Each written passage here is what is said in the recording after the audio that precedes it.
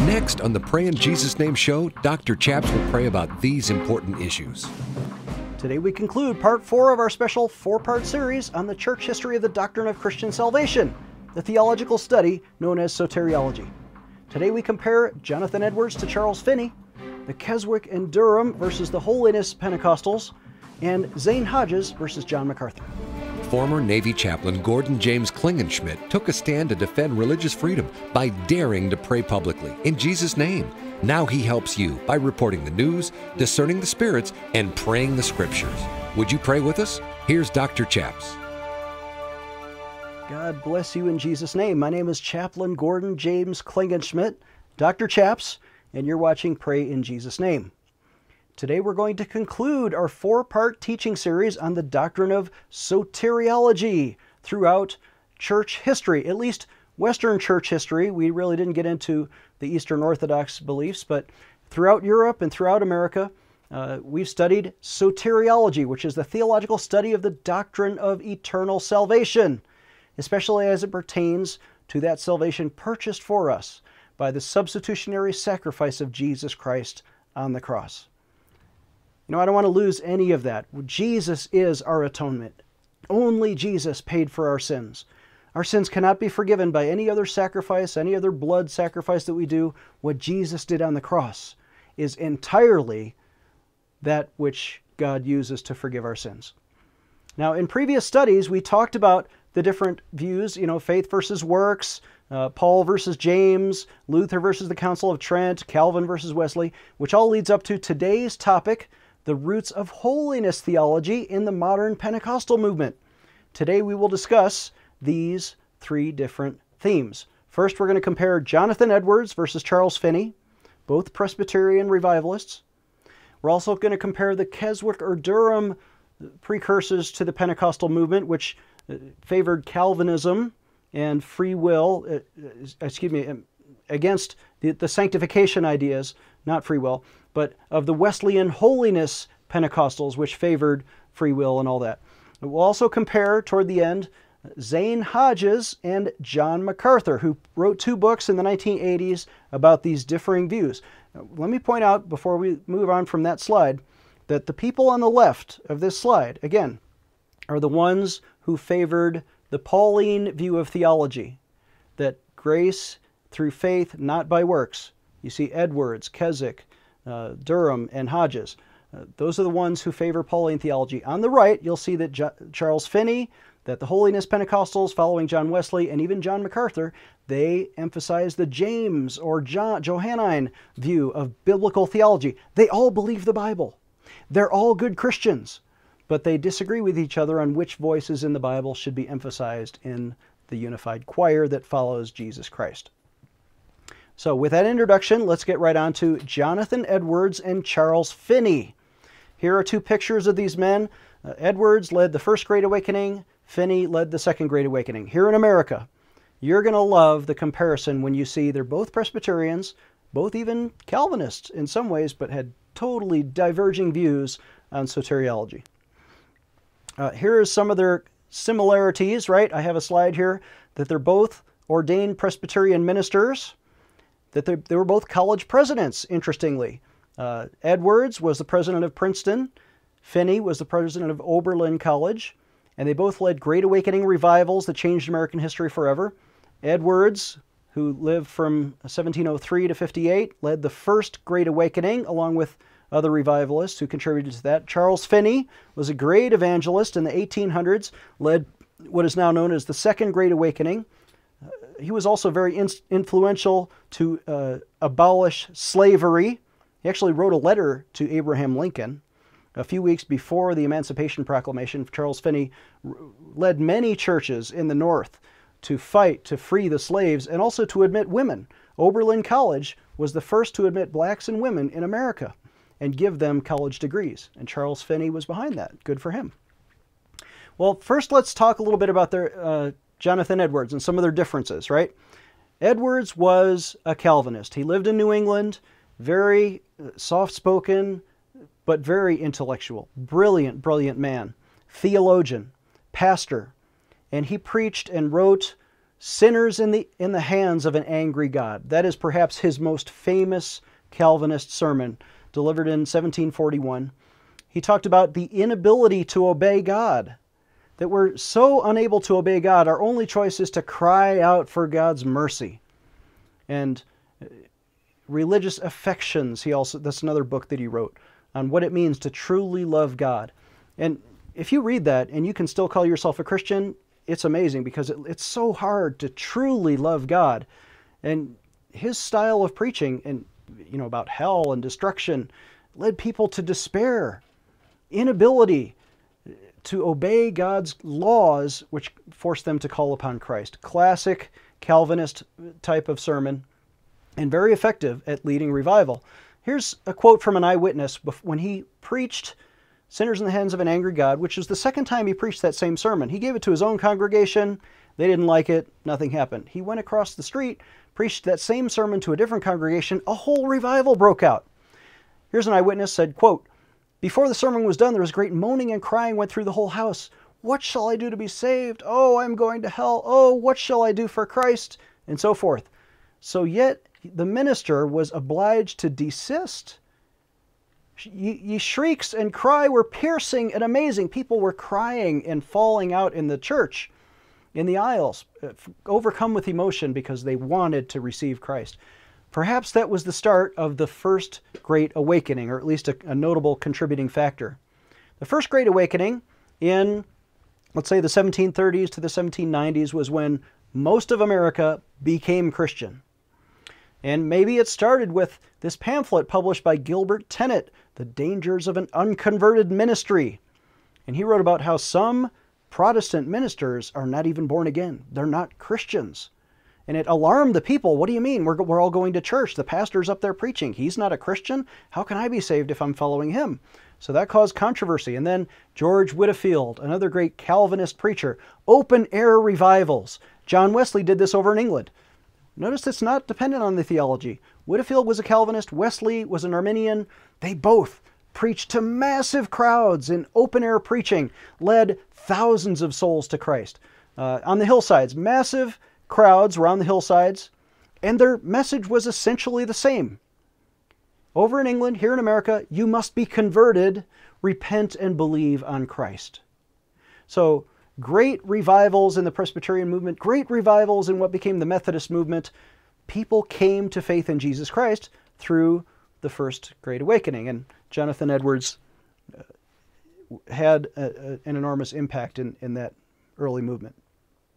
Well, let's fast forward to the 18th, excuse me, the 19th century, the 1800s, when Charles Finney came on the scene, right? He is also a Presbyterian, but he was ordained Presbyterian, but eventually he came to become an Arminian. Uh, he led what we call the Second Great Awakening.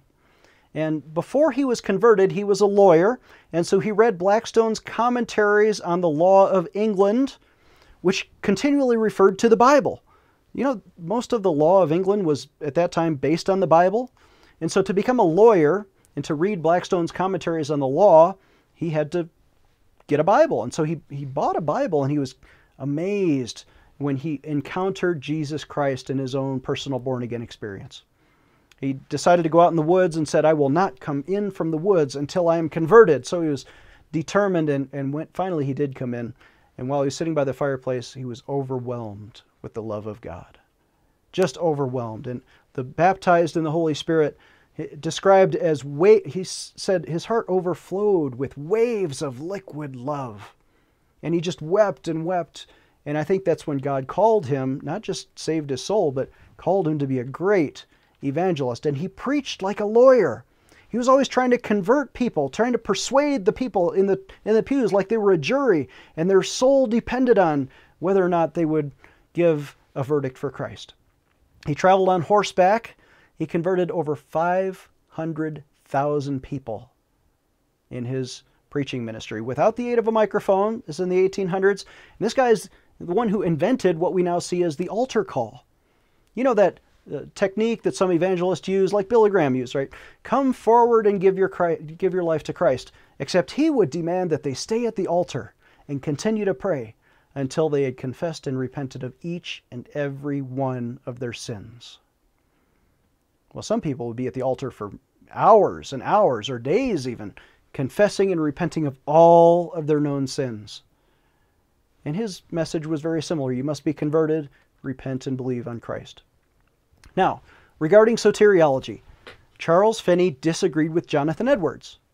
Now, they lived in two different centuries, but and, and Finney was a student of Edwards, read everything, and criticized some of it. He said, quote, Edwards I revere, but his blunders I deplore, specifically with regards to the doctrine of inability to obey God. Edwards, as a Calvinist, said, You cannot obey God. It's impossible. But Finney said, Well, that doesn't make sense. Uh, Finney followed more the lines of Aquinas, uh, is some labeled by some as semi-Pelagian because he believes in free will, the ability to obey God, and human responsibility to do that. Here's a quote. He said, There's a pretended distinction between natural and moral inability, and that's nonsensical. Natural inability is an inability to do as we will or to execute our volitions. Moral inability is an inability to will.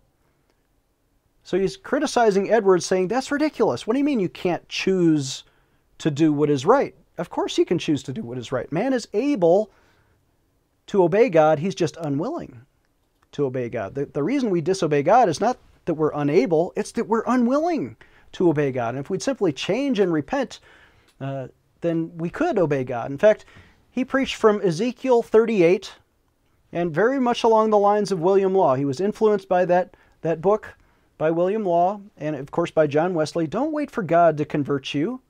Many of the Calvinists were out there, oh, you can't convert yourself. Wait, God is sovereign. God will choose you. If you're in the elect, eventually someday God will make you repent. No, no, no, no, no. Don't wait for God to convert you. Convert yourself. And the preaching of truth is the initiation of the Holy Spirit. He didn't deny prevenient grace, he, he, but the Holy Spirit will initiate, and then you must cooperate. You're responsible to choose. He quoted Ezekiel 38 Make yourself a new heart and a new spirit, for why will you die? You know that's in the Bible? That you have a responsibility to make yourself a new heart.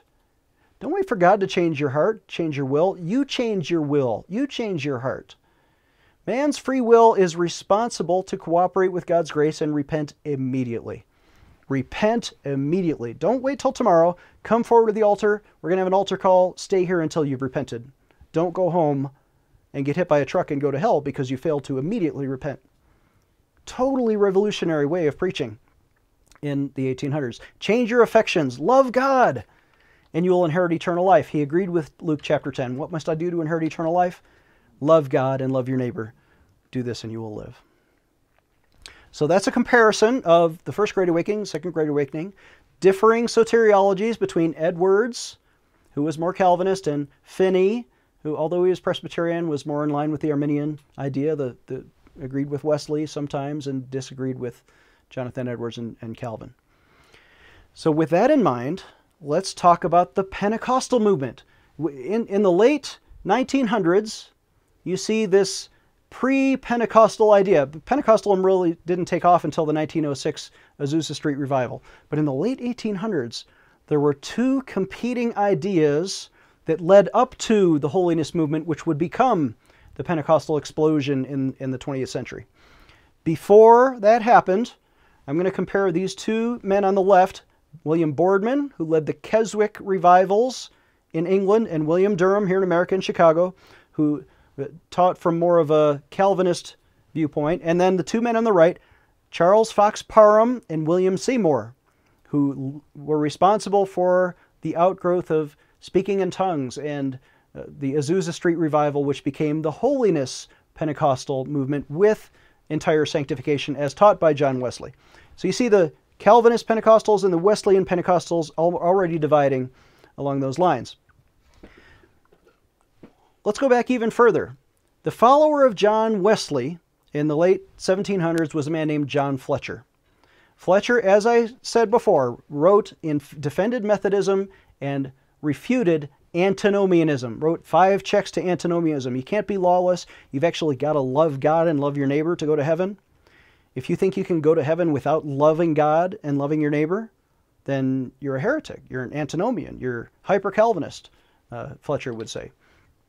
Well, that idea was taken into this idea of sanctification, which was emphasized by another man, A.B. Simpson, who was the founder of the Christian uh, Missionary Alliance.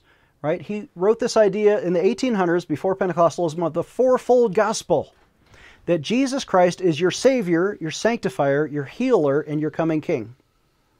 Notice it's not about uh, the baptism in the Holy Ghost yet, not about speaking in tongues, but Savior, sanctifier, healer, and coming King. That's A.B. Simpson's fourfold gospel. Then there was Phoebe Palmer, who wrote about and influenced the, the holiness movement in the late 1800s here in America of the two crisis experiences that we should all experience justification you got to be saved, you got to be born again, and sanctification.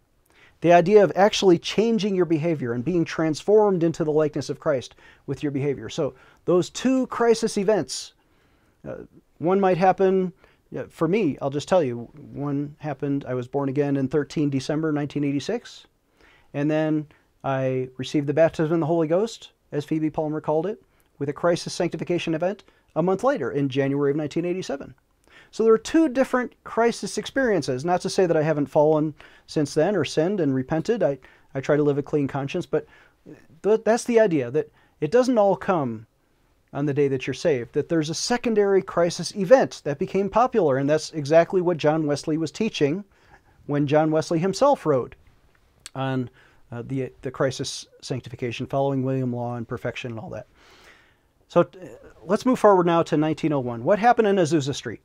in California, there were these guys, right? And uh, actually, Charles Parham was from Kansas, but he mentored and taught William Seymour about the idea of speaking in tongues. Started in Kansas in 1901. William Seymour took that out to Azusa Street Revival in California.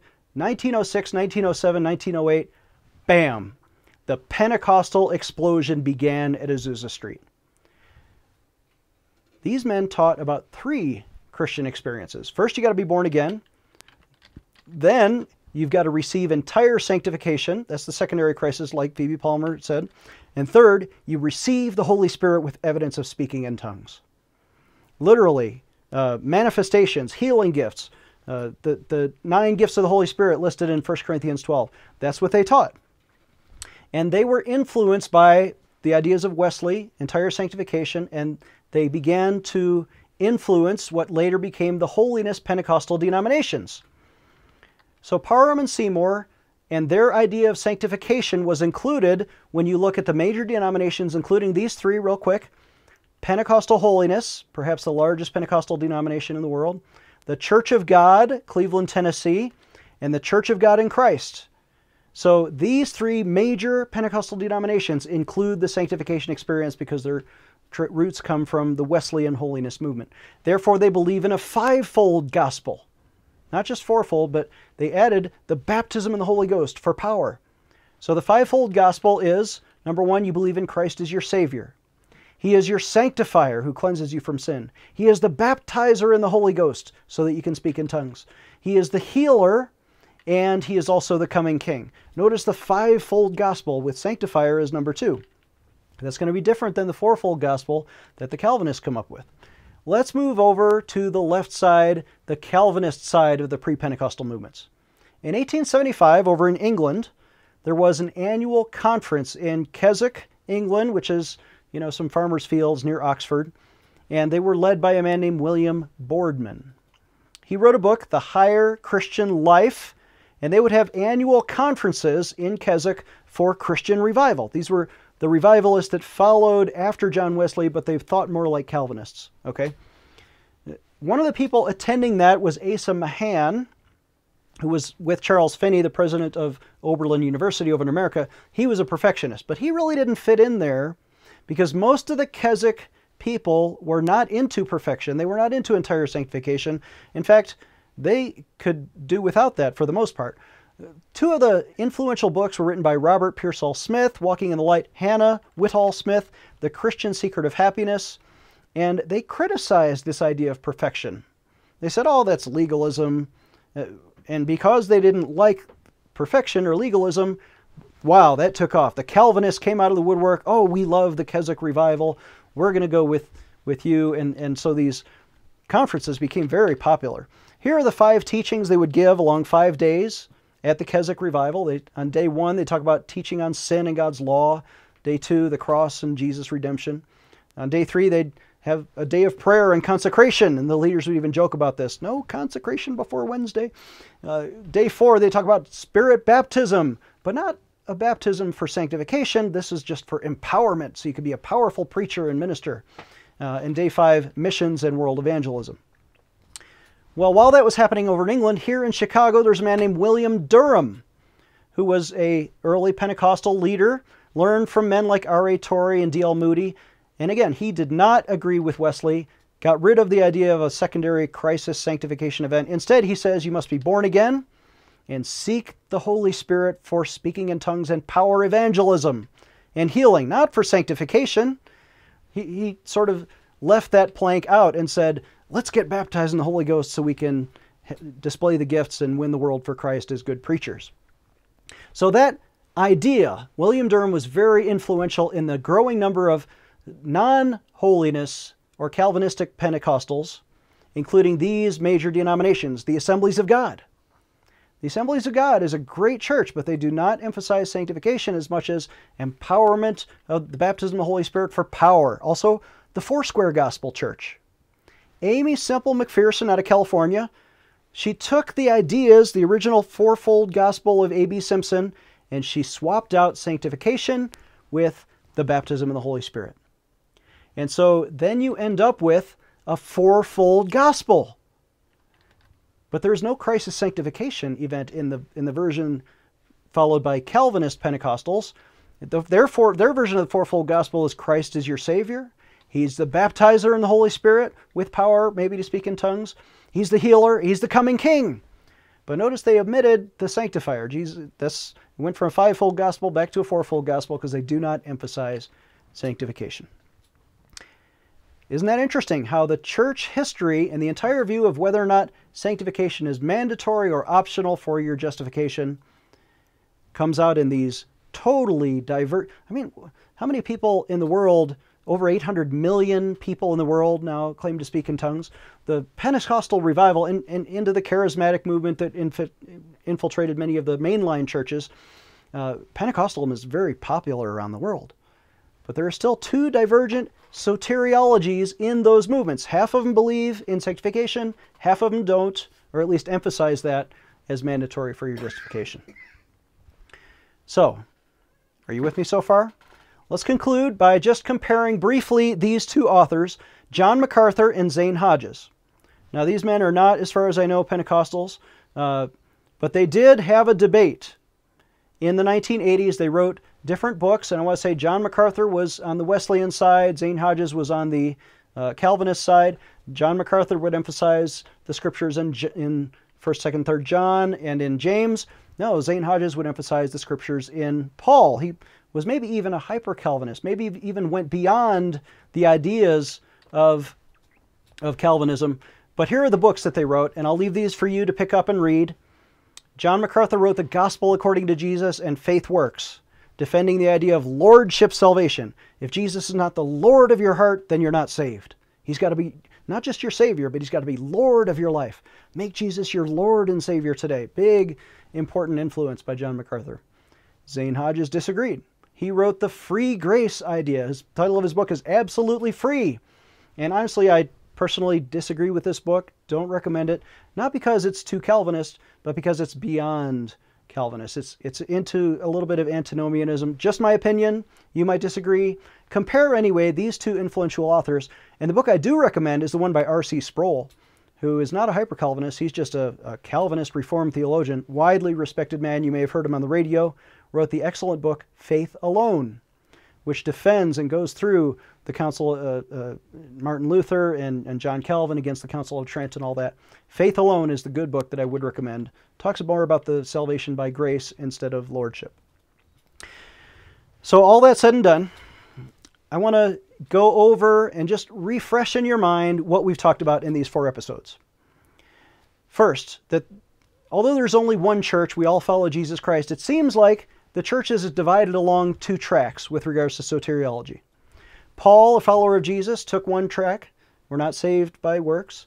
James took another track. We're saved by works with faith. and then that divided throughout the rest of church history. Augustine debated with Pelagius. One followed Paul, one followed James. Then there was the Council of Orange versus Aquinas, Martin Luther against the Council of Trent. We talked about that in episode two of this series. Get all four of these series.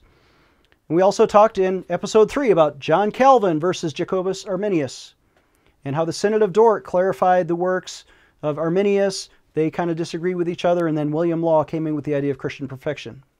And then Count Zinzendorf had a great debate with John Wesley. We talked about that in our third episode. In today's episode, we concluded talking about Jonathan Edwards versus Charles Finney, the different Pentecostal denominations, including the Keswick version versus the Holiness Wesleyan denom denominations. And also, we finally concluded just with an introduction to Zane Hodges against John MacArthur. Let's come back to Jesus Christ. And, and we're not going to take a commercial break here, but I just want to reemphasize that there is one church and we all follow Jesus Christ. And what must I do to be saved? You've got to ask yourself this question. Jesus said in Luke 10, What must I do? He was asked, What must I do to inherit eternal life? He, he answered, Love God. Love the Lord your God with all your heart. Next slide. Uh, with all your soul, with all your strength, with all your mind, and love your neighbor as yourself. Jesus answered him, Yes, that's the right answer. Do this, and you will live. You want to start with soteriology? You've got to love God. You've got to love your neighbor. Do this and you will live. Would you pray with me? Let's take a moment and pray about this. Father in heaven, we give ourselves to you. And there are times in our life when we do not love you with all our whole heart, with all our soul, with all our strength. And whether it's we're saved by faith or we're saved by, by faith with our works, uh, whether there's holiness and sanctification is required. Father, we know that love is required. At least we choose to obey you with regard to your command to love. And therefore, we do repent immediately and now of all of our known sins. We invite you, Father, to rule our heart. Be our Lord and Savior. Fill us with your Holy Spirit. Fill us with your love. And Lord Jesus, we honor you in Jesus' name. We give you our life today. Visit our website, prayinjesusname.org. Catch all four episodes on YouTube. We'll see you next time. Chaplain Klingenschmitt is a graduate of the U.S. Air Force Academy who earned his PhD in theology from Regent University. As a former Navy chaplain, by taking a public stand for freedom of speech and religious expression, and by sacrificing his own 16 year career and million dollar pension, he was vindicated by the U.S. Congress, who changed the law and restored freedom for military chaplains to pray in Jesus' name. Dr. Chaps not only defended the Constitution, but his petitions have helped change the law in 10 states, restoring freedom to pray in Jesus' name.